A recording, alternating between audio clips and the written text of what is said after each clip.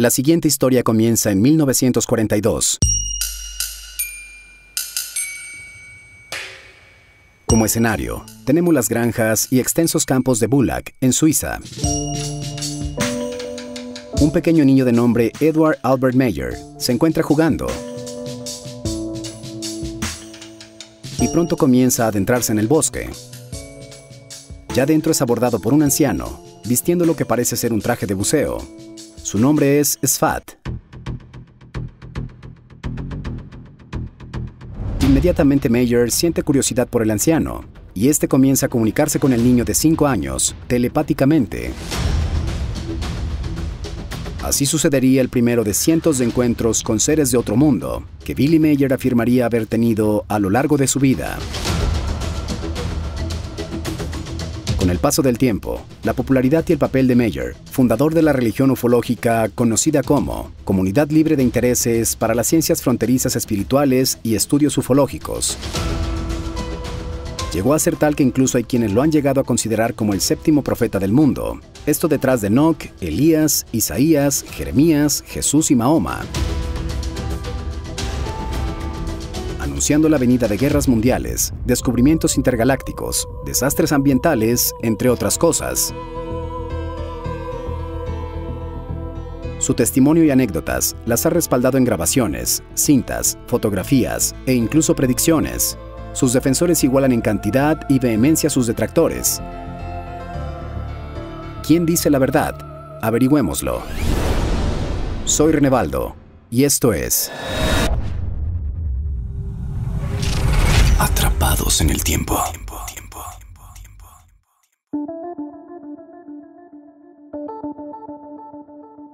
Al pasar de los años, la relación de Billy con Sfat, de quien después se supo se trataba de un ser de la raza playediana, se fortalecería. Llegando incluso a estar dentro de su nave espacial, en la que afirma viajó por todo el mundo, interactuando con líderes y personajes importantes de la Tierra, de la talla del propio Gandhi, En consecuencia de estos encuentros y los largos periodos que ambos mantenían comunicándose telepáticamente, se decía que Mayer había envejecido mentalmente, a un ritmo tal que tenía la madurez de un hombre de 35 años, cuando en realidad apenas había cumplido los 7. Los encuentros, charlas y aprendizaje con Sfat se darían durante 11 largos años. Mayer se comportaba diferente a los otros chicos de su pueblo, y la gente comenzó a señalarlo. Creían que algo andaba mal con él. Muchos lo molestaban. Uno de estos incidentes en su juventud provocó que Meyer fuera encarcelado, mientras se defendía de una agresión. Al ser liberado decidió unirse a la Legión extranjera francesa, Haremos un paréntesis en esta parte de la historia, porque si de por sí ya suena fantástica e increíble, los capítulos de su vida que vienen a continuación, compartidos por él mismo, rayan en lo ficticio, aún así no dejan de ser bastante interesantes. Continuemos. Billy abandonó la Legión y escapó al Medio Oriente, donde se dio a la tarea de perseguir criminales, esto para llevarlos ante la justicia, en esta etapa de su vida, afirma haber sido objetivo de 21 intentos fallidos de asesinato. Mientras todo esto sucedía, Billy Mayer no dejó de tener contacto con más pleyadianos. A pesar de que su mentor y amigo Sfat había fallecido en 1953, los otros seres con los que tuvo contacto llevaban por nombre Asket, Samjese, nieta de Sfat, y Ta, quienes le comunicaron mensajes sobre el futuro de la raza humana y le advirtieron cómo el extremismo religioso estaba destinado a dañar el mundo. Estos encuentros le valieron ponerse bajo los reflectores de la opinión pública en los años 70. Todo mundo quería conocer más sobre este suizo.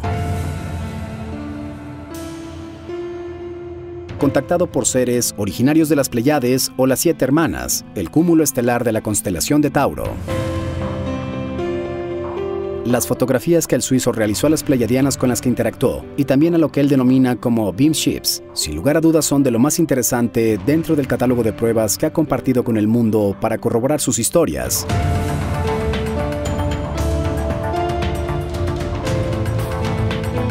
Tan nítidas y descriptivas que durante mucho tiempo fueron calificadas como demasiado buenas para ser verdad. Estas han sido analizadas por un sinnúmero de supuestos especialistas, entre ellos el ex investigador y supervisor de la Oficina de Investigaciones Especiales de las Fuerzas Aéreas de los Estados Unidos, Joe Tisk, quien en el año 2007 concluyó que eran auténticas. Otro investigador de nombre Jim Diletoso dice que un profesional experto necesitaría un millón de dólares para reproducir las fotos de Billy Mayer tomadas en 1970. Más adelante lo sabremos.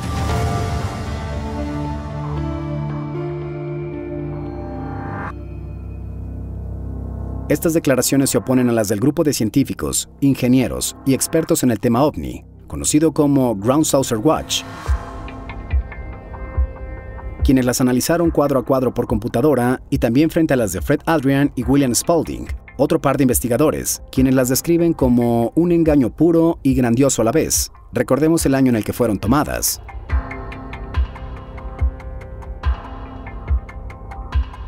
En el año 2019, el investigador y cineasta Michael Hearn presentaría evidencia durante la conferencia Contact in the Desert, datos sobre el sistema solar, agujeros negros, la velocidad de la gravedad, el asteroide Apophis y eventos volcánicos que supuestamente Major habría publicado 60 años antes de que la NASA los confirmara oficialmente.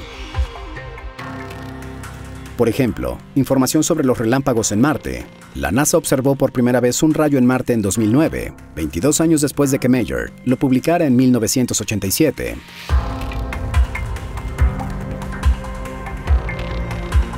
Se sabe que Horn ha sido fiel defensor de Billy, en 2012, tras su documental As the Time Fulfills, levantó una serie de controversias al afirmar que Meyer advirtió sobre algunos de los eventos más trágicos en la historia reciente. Por ejemplo, cuando los pleyadianos le contaron al suizo en 1987 sobre próximos ataques al World Trade Center, 14 años antes de que sucedieran. Horn considera a Billy no solo como un contactado, sino como un psíquico y profeta. Será difícil para la gente aceptar la información de Mayer sobre el engaño del aterrizaje lunar del Apolo 11. Aún más difícil de aceptar será su conocimiento previo del ataque al World Trade Center el 9-11. Mayer predijo el calentamiento global y el cambio climático, así como las dos guerras de Estados Unidos con Irak, los teléfonos celulares, las tarjetas de crédito. O Meyer es el psíquico más grande del mundo o está obteniendo su información de extraterrestres, declaraba Horn. Pero hey, recuerda la frase del principio, demasiado bueno para ser verdad. Mayer, así como tiene a sus defensores y seguidores, también tiene reacios detractores. Algunos le han dedicado publicaciones enteras, como por ejemplo el escritor Maurice Osborne, en su libro Falso Profeta. A esto se sumaron las declaraciones de su ex esposa Calliope, quien en 1997 declaró que las fotos no eran naves espaciales, sino manualidades que había hecho con material reciclado como tapas de botes de basura, tachuelas de alfombras, entre otros. Y que más falsas que las fotos eran las historias que Billy contaba de sus aventuras. Por otra parte, las fotos de Asket y Nera resultaron en realidad ser fotos de Michael de la Fave y Susan Lund, un par de jóvenes artistas del grupo The Gold Diggers. Fraude o no, el nombre y las fotos de Billy Edward Albert Mayer forman parte importante de la historia y cultura del fenómeno ovni. Tanto que recientemente durante una subasta de Sotheby's Auctions, algunas de ellas se lograron vender por 16.500 dólares. Una de sus fotos más famosas se utilizó en un póster colocado en la oficina del agente Mulder, en la serie X-Files, donde se apreciaba la frase, I want to believe. La veracidad de las historias y fotografías de Mayer siguen siendo tema controversial dentro de la comunidad mundial del fenómeno ufológico, dividida en dos bandos, quienes lo avalan y quienes lo desacreditan, ambas haciendo su mejor trabajo para demostrar quién tiene la razón.